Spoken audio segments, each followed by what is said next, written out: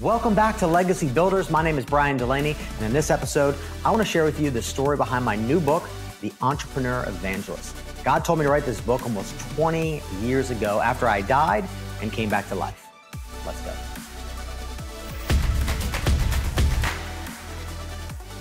All right, so Bryan, your book, Entrepreneur Evangelist, just came out to the public. Today, let's talk about where did the story for that book really begin? So really at the core of it, I would say it started, um, you know, growing up and then, you know, my family, the family dynamic that I grew up in, right? Uh, but then beyond that, it really started when I died and came back to life, right? So 2003, found myself on death's doorstep, uh, came out of the coma that I was in for eight hours, and the doctor rushed to my bedside singing, He's alive, right? So you know, coming, you know, waking up from that experience, not knowing where I was, quite frankly, and just seeing white everything, white doctors, white everything, white room, white sheets, and just being in this, you know, really surreal experience. Waking up from that moment, um, and then the doctor saying, "Son, you're a living miracle." In my 30 years of being a doctor, I've never seen anyone in your severe condition live, yet alone be able to even comprehend what I'm saying because my blood alcohol level was 0.39 and 0.4 I was dead. So really, if you think about it, I was one shot from death. And the words that rang true uh, to me at that moment were was the doctor when he said, you know, son, my 30 years of being a doctor, never seen anyone with your severe condition live, yet alone be able to comprehend what I'm saying. Uh, there's no other explanation, but you know, this is a miracle. Um, God must have a plan and purpose for your life. And so that was really the catalyst to uh, drive me into seeking my purpose, finding out, okay, why was my life saved, spared? Why was my life saved? Um, driving back to campus, you know, the little hole in the wall church that said, you know, God has a plan and purpose for your life was again another confirmation uh, that God wanted me to pay attention uh, to the, his desires for my life rather than my own desires. Right. And it couldn't have been you know, more clear. So from there, I, you know, I went on a journey to find my purpose, transferred to Clearwater Christian College, uh, which was great, but extremely fundamental, rule driven school um, that just had so many ridiculous rules. And then from there, uh, transferred and went to Liberty University. And it was during uh, what's called Spiritual Emphasis Week. Ironically, it was Spiritual Emphasis Week where um, I went through this process where God was showing me at the time through the speakers and through, uh, you know, spiritual emphasis week at Liberty University is absolutely amazing. Uh, first of all, you've got uh, leaders, you've got business leaders, you've got, um, at least this is what the experience was like when I was there. So you had business leaders, you had spiritual leaders, pastors, you had missionaries, you had people that are in the field um, every single day, and they came to you basically share a word, share their testimony, share what was going on globally. And so imagine the whole week is just dedicated to spiritual worship, conferences. I mean, the whole nine yards, speakers galore. Um, it was basically like a festival uh, for all things spiritual. And so I remember sitting there, I was listening to this guy by the name of David Nasser, who wrote a book called A Call to Die. And he talked about his journey of his salvation and the things that he had to let go of. And during that week, God was impressing upon me that I needed to forgive my dad. That I, like, I was harboring bitterness, anger, frustration, um, basically negative energy uh, towards my dad, and that I needed to go to him. I needed to approach him. I needed to man up, and I needed to ask him for forgiveness. Now that would really contrary to you know thought right? Think about it. You know, I was in a place where, you know, uh, my dad had chose a certain way of being and also chose certain actions throughout my teenage years um, that left me angry, bitter, frustrated, pissed off, angry, all of these emotions uh, because of the way that he chose to show up. And in this moment, God was showing me that, no, Bryan, you need to man up. You need to forgive him completely. You need to be the one that takes proactive action because he's not. This is your opportunity to step up. And so I, I remember God revealed to me the plan before I actually executed on it, which was forgive, um, forgive completely, receive openly, and then share freely. And I'm going to break that down here. So what that was, I, I call that God's formula that unlocks relationships. And for me, it unlocked my relationship with my dad. It also unlocked my relationship with God and able to, for, uh, in a way that I was able to more vividly hear him speak, more vividly understand God's, God's voice, which is so, so, so vital and so important, which is really the core message within my book. That's one of the major core messages that I believe that God wants me to get out to other people uh, across the world. And so I remember, uh, you know, when I had to man up and forgive completely, I remember it being awkward. I remember it being like, no, I don't want to do that. Remember be, uh, feelings prompted within me, uh, overwhelming prompting and urgency that no, you need to do this. You need to man up. So I remember calling my dad and I said, Dad, please forgive me for this. Please forgive me for that. Please forgive me for this, that, the next thing. And uh, you know, my dad was, you know, quiet, silent, listened. He, you know, was absorbing that, you know, what I was saying to him. And, you know, shortly thereafter, my dad began to cry and began to, you know, uh, you know, he began to ask for forgiveness as well. And I, and, I, and at that, at that time, I was literally at, in a place where I was able to, uh, you know, rather than put up my defenses or rather than like, you know, shield, I was able to, I was able to receive it because that's what God told me to do when I was going into the situation. So when I was going into the situation, think about it. God said, forgive completely, receive openly. And so as I was going into it, I already knew, uh, part of the, what that, what was going to transpire, but, but obviously I wasn't sure how that was going to happen. Um, so I knew that my dad, something was going to break, something was going to happen. And what really broke and happened was, um, it was the, the barrier between my dad and I right? And it was almost as if there was uh, the analogy that I use is imagine being like chained in a room um, in shackles. Um, that's ultimately what it was like being in a place of unforgiveness, being in a place of being bitter, anger, frustrated, pissed off, all these negative emotions. So being in that place is what was keeping me in chains, keeping holding me back from really truly experiencing an abundant life with my dad and the relationship with him.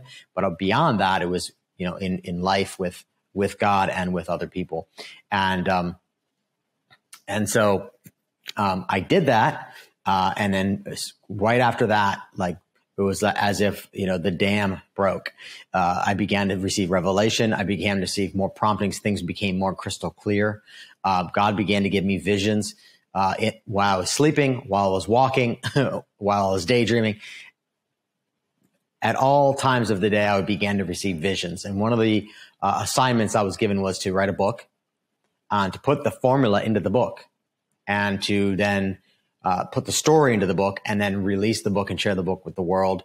He then began, began to give me visions, both sleeping and walking, daytime visions of stadiums full of people, thousands of people, tens of thousands of people, literally, you know, 25, 30, 40, 50,000 people in different stadiums in different uh, sets and scenes from indoor stadiums to even outdoor stadiums where I began to get these visions. And it wasn't something that I was envisioning, you know, like when you have a vision for your life and you begin to think about what that looks like, you have your own vision, right? These were visions that were be, be, being given to me uh, in that moment. And so I was receiving these visions. I was just seeing them.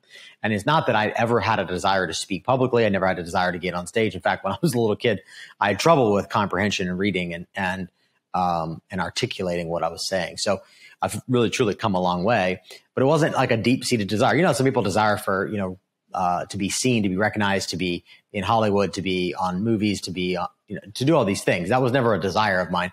Uh, my desire came from God's uh, prompting that I needed to write this book. I've got important messages that He's given me, important experiences that I went through that others are supposed to be blessed by, and so, um, and so, ironically enough, uh, fast forward, that was 2005 when I uh, had the prompting to write the book. Then I was given the visions of stadiums full of people where I had the opportunity to share my story. Fast forward to 2013. So 2005, 2013, quite a bit of a delay. Um, I was dating a girl for three years. We started dating in 2010, then eventually uh, 2013. I come to find out that she was unfaithful. Uh, she was sleeping around while I was out of town on on you know building this other business. simultaneously, uh, when I found out this issue was unfaithful, I also got a swift kick to the you know what and uh, lost a half a million dollar a month business partnership that was literally paying me over 50000 a month which was feeding me feeding my feeding my team feeding my family so simultaneously i got whacked with both of those situations and um, through that uh, it drove me back to a place where I the only place I needed to turn was was to God. And so I began to do exactly what I did, what happened when I when I died and came back to life. When I was looking for my purpose, I went to the only place I knew to go, which was to God. I started praying, I started meditating, I started reading his word more, I started worshiping. And a combination of those things, um, as I was processing how do I handle and deal with this situation, God began to then remind me, you need to man up, Bryan this is your opportunity to apply the formula that I've given you in 2005. But now you have a different perspective. You're going to apply this in a romantic relationship and in this business partnership uh, that is completely different than the experience that we went through together in 2005 with your dad. So that gave me a little bit of peace because I knew that it was a part of the bigger picture, the bigger narrative of my story that needed to happen so that I could relate to people who had gone through pain as it relates to intimate relationships and business partnerships. And so I went through it with my dad, and then I eventually had to go through it with an intimate partner, and then also went through it with uh, a business partnership. So, Bryan, you received this vision. You knew that you were supposed to write a book as early as 2005 it sounds like you didn't just sit down and start writing, but in those years you were building business, you were like building influence, you were moving forward in your calling. But it seems like a lot of people receive a, hey, you're going to write a book. And they're like, okay, cool, I'm going to write a book tomorrow and publish it next year. You know, 2005, today it's 2021. This has been a 16 year process. Um, after you had that forgiveness experience with, you know, your your ex girlfriend and your business partner, how did this book actually start to kind of come to life? Yeah, so it was uh, actually in 2016, which happened. Another another event happened in my experience, which was um, I, I had a realization that my business person, my purpose, and my spiritual purpose are one of the same. They're not disconnected or disjointed. And up until that point, right, I I had this calling over my life uh, that I was supposed to share my story and help other people share theirs. And that's, um, you know, and then deeper than that, it's, you know, to go through this process of forgiveness uh, and transformation within relationships that that truly allow you to, to break free from the chains that are holding you back. And so 2016, right, quite a, quite a few years after 2005, a couple years after 2013, when I had the the fallout of my intimate partnership and my business partnership that was, you know, that was really scaling. Um, God sent me a guy who was a pastor and uh, he was on a mission to eradicate waterborne illness in the country of Liberia. And it was when I met him that I realized what I do as it relates to business is directly connected with what I what my calling is spiritually. And that is to share your story and help other people share theirs. And I don't know why I didn't connect the dots until that point.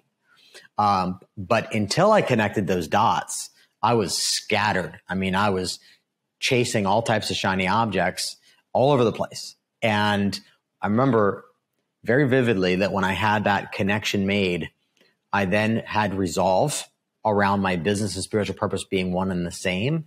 And so I just went deeper. And as a result of that, my business took off like a rocket. We began winning awards. We began crushing revenue goals. We began working with uh, quality people, quality experts, um, authors, speakers, coaches, these type of people, and life changed dramatically. And, and I do contribute that to that that defining moment, that realization of my business purpose and my spiritual purpose are one and the same. They're not disconnected. They're not something that I need to do on Sunday and then do business the rest of the week, right? Which a lot of people operate in that place, right? They're like, well, I go to church on Sunday, maybe Wednesdays, they do like some spiritual things. I pray once a day. I read the scriptures, whatever it is. But they're like, it's not really that connected to what they do at work. Right. And so they're, they're, they're pulled, feel like there's this tug of war that happens within their spirit. And I can tell you right now, that's the, that's the moment that I was at until 2016, uh, when I realized that no, no, no, the skill sets that I was accumulating around marketing, advertising, and selling online and offline, for that matter, um, were directly connected to helping people share their story and help them get it out in a bigger way. And business took off like a rocket. I ended up launching a campaign um, that was called the Free Golden Ticket that my wife brilliantly created. Uh, I asked her a question and she blurted out the words free golden ticket. Um, I asked her a very important question, which was, I want to give away some of our most valuable funnels along with more than just the funnels, but like what the, you know, the, the, the inside look of it, like the emails, the scripts, like the behind the scenes and then videos to go with it to really break down what a successful campaign looks like. Right. And so she blurted out free golden ticket. She had written a, a thesis paper on Willy Wonka and the Chocolate Factory. And so she was able to connect the dots before I was. And she began to show me this parallel between that movie and, and this campaign. And so we created this campaign. Uh, it was super successful. Through it, I actually attracted two ghostwriters to me um, that ended up saying, "Hey, Bryan, I love your your story. I love your message. Um, I would love to help you get that out there to the world, and I want to do it for free." So it's amazing how God works, right? He we launched a campaign, and through that campaign, the idea was, how do we stand out? How do we be different? How do we be unique than anyone in the market? And how do we get people's attention? Right. And, and we all have to do that when, when it comes to marketing. Because at the end of the day, there's a lot of stuff that's vying for our attention. Right. So um, we created this, you know, free golden ticket. I dressed up as Willy Wonka. My wife dressed up as a Oompa Loompa. We multiplied my wife, so there was m- many Oompa Loompas, uh, and we went all out. We did not, we did not half-ass it. We went all out. My wife literally had to measure every part of her body for the spandex that she had to wear uh, because Oompa Loompa, basically, the outfit was spandex, um, and it, we we didn't spare. Um, it was as if it was like a Halloween costume uh, at the highest level, uh, and to the point where people even said, "Bryan, you look like Gene Wilder." Um, and, and I had never had that message. I had never heard that before. Um,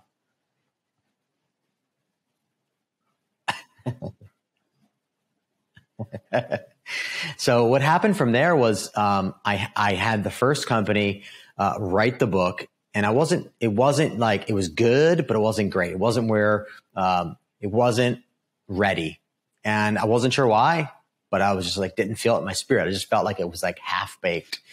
And so another guy came to me, another ghostwriter who did a lot of um, fiction books.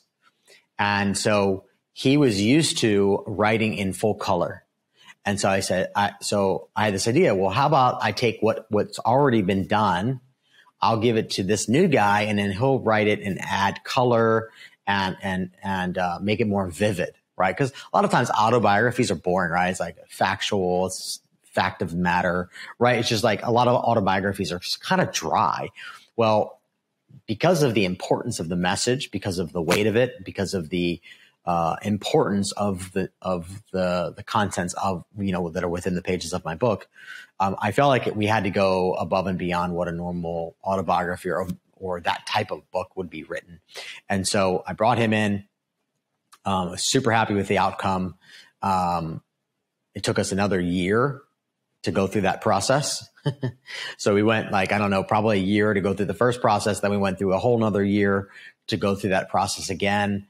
Um, but uh, God was telling me that, you know, the most important book that I released to the world first was this book. And I was, uh, years before when I was really given the vision back in 2005, it was like, this is the book I have to launch. I have to launch this first. Um, and it's got to be done well. It's got to be done well. And my mentor at Liberty University would always say, and his name is Jerry Falwell Sr. He founded Liberty University. He would always say, if it's Christian, it should be better. Um, and those words ring with me all the time. Um, and I, I agree with that. You know, we are called to a higher account. We're called to a higher standard. Um, and so, um, fast forward from there, uh, I had we had we got married, got married to my wife uh, in La Jolla, California. Then we had our kid two weeks after getting married. Boom! It's like we were pregnant, um, and then it became even more evident um, that the, the the story that God was developing within me wasn't finished yet, right? Like I wasn't ready to publish the book in 2005. I wasn't ready to publish the book in 2010. I wasn't ready to publish the book in 2015, 2006. I, I wasn't ready to publish it until 2021 when we published it and launched it, right? And it's because there are milestones, there are parts of the story that would have been left out, right? I was able to dedicate the book to my daughter, right? If I would have launched the book in 2013, 15, 16, that would have never been possible, right? Um, here we are, you know, our, literally our second kiddo is on the way, uh, due soon. And we just launched the book to our internal audience. Um, and now we're at a place where it's time to really share it in a bigger way, get the message out to as many people as possible. Yeah. Um, I think it's amazing. I mean, it's a, it's been a 16 year work in progress. And I think so often people are obsessed with like, okay, cool. I got a vision. I got to do it now how important do you think it's been to be patient and like let the story kind of develop let your own story develop over the last 16 years as opposed to you know in 2005 you being like okay cool. You know my purpose is to share my story with the world and share other people's stories. Like i'm going to get this book out and i'm going to start trying to get on stages everywhere. Like how how necessary mm-hmm. was the patience of it and just letting god do it in his timing as opposed to your timing yeah, so for me, it was it was vital. I mean, looking back now, the book would not be thorough and completed as it is. Right? It wouldn't be. It wouldn't have as much as much depth to it, even though it's not a long book or a huge book. Right? Um, it's it's it would have been not complete as it is now. So for me, absolutely critical. I think a lot of people get into a place where um, they want to launch a book because they know that launching a book is going to allow them to position themselves differently in the market or it's going to allow them to get clients. And I think um, that's the wrong mindset as it comes to a book that has a really significant, um, significant stories, lessons, and meaning baked within it. Now, if it's a book that's, you know, that's, that's not that, then I say you don't have to spend as much time, energy, and attention to like, go through that whole journey and that whole process. Or if you've already gone through that whole process and journey, then you can accelerate the process. But, you know, being that, you know, I died and came back to life in my early 20s, I didn't really start my business until my mid 20s. And then, you know, I had, I had to be, I had to go through experiences. I had to go through good times, bad times, winning campaigns, losing campaigns. I had to go through a lot to, to get to the place where the book is able to be published. But I think a lot of times people go in with this mindset of, oh, I need to launch a book around this topic tomorrow. And it's really, in most cases, driven by monetary gain. Um, and, and, that's the driving factor. And I'll tell you right now that you don't write a book for monetary gain um, because books don't really make a lot of money. Actually, don't make any money. What makes money is your deeper levels of service, your coaching, your your consulting, your mentorship, your services, your workshops, your courses. Like those are the things that are going to allow you to monetize your expertise a book is is not necessarily going to do that as well. I mean, a book is what 10, 20 bucks. So you're not going to be get rich on books. Um, most authors are not unless you're like, you know, a unicorn and become a Stephen King or, you know, some prolific thing that takes off.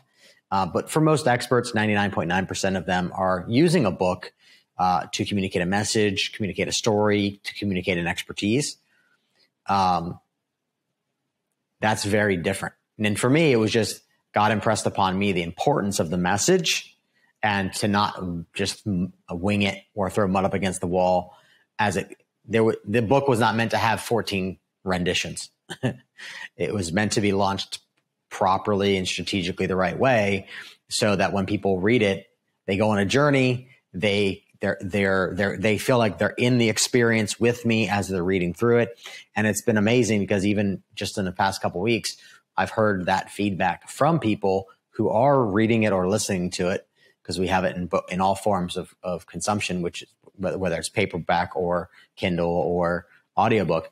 But it's really cool to see and we're only in the the beginning stages of hearing how the book is, you know, really impacting people's lives and how it's captivating them to listen deeper which a lot of books that you know, that would be in this type of um, writing format don't normally get that type of feedback. Right. Yeah, it's amazing. So here it's live. Like tell you know our listeners how they can get the book, and then you know before we close this episode, I want to hear about the foreword and why the foreword to this book is is one of the most special pieces. Yeah, absolutely. So you can go to launchexpertise.com. So that's launchexpertise.com or bryandulaney.com, which is my personal brand. And you'll find a place there to be able to get yourself a free copy. Now we say it's free, but we ask that you cover the cost of shipping and handling to get it to you anywhere in the United States for $9.95. So that allows us to ship it and get it to your door. And, and if you're out of the country, then it's $29.95. So if you're overseas, you're Australia, United Kingdom, Germany, wherever you might be outside the country, we will ship it to you, but it's $29.95 because that's the cost. It costs a lot more to ship it overseas than it does to ship it right. within the United States. So you're pretty much now, asking people to help. You're printing the book and you're sending the book. That's pretty much it. You just want to get this message out there. That's correct. We're giving it away for free. We just ask that you cover the cost to get it to you so that I'm not coming out of pocket for that expense because it's a hard cost expense. Um, and one of the things I'm really so stoked about is the foreword, like you mentioned, Seth. So really excited about uh, the foreword. The foreword's written by a friend of mine, a mentor of mine, a colleague of mine, Russell Brunson. Um, I was, I've known Russell for a long time. I've been I've been buying his products and services and, and stuff that he sold for more than a decade, far before ClickFunnels ever came into existence. Russell Brunson's the founder of ClickFunnels. The company's been evaluated at over uh, close to half a billion dollars, and he's working on getting it to the evaluation of a billion dollars as a brand. Um, he wrote the foreword uh, because when I was masterminding uh, privately with Tony Robbins, Dean Graziosi, Jenna Kutcher, Lewis Howes, John Lee Dumas, like these people over in Florida, in practically in Tony's backyard. I had uh, printed up 12 copies and I gave a copy to Russell. I gave a copy to Dean. I gave a copy to people, you know, strategic people in the mastermind that I wanted to, you know, to, to give a copy to, wrote a nice little note, signed it. Um, I let Russell, you know, read it for like a week and then I asked his blessing. I said, Hey man, uh, you know, would you be open to writing the foreword for this book? I think out of everyone that I know, you're the best man for the job because of your background, your faith, your connection to God, uh, your, your, family values, the systems that you operate as a family. And uh, pretty quickly, he was like, yeah, absolutely happy to do that. Now, um, you know, think about it though. Like I'm, this is not like I didn't just meet Russell, right? Um, I've known Russell for a long time. I've been one of his top super affiliates for ClickFunnels, having generated over 600,000 in commissions, literally, you know, gave him over a million dollars worth of business. Um, and then, you know, being a top super affiliate for his partner, Tony Robbins, Dean Graziosi, helping them generate several, several million in revenue as well. So I served him first before ever asking him for the endorsement for the foreword. And I think that's why he said yes, is because, uh, you know, he's, we, we've been on this journey together uh, for a long time, even before ClickFunnels was even a thing. It wasn't even called ClickFunnels when he first launched it. It was called something completely different. Um, so I've, I've, I have a long standing relationship with Russell. I think a lot of people, um, you know, think, oh, I need to get, a, I want to get a foreword from Tony or I want to get a foreword from this person. And it's like, you don't have any relationship where you haven't served them in any way you know, it's going to be challenging.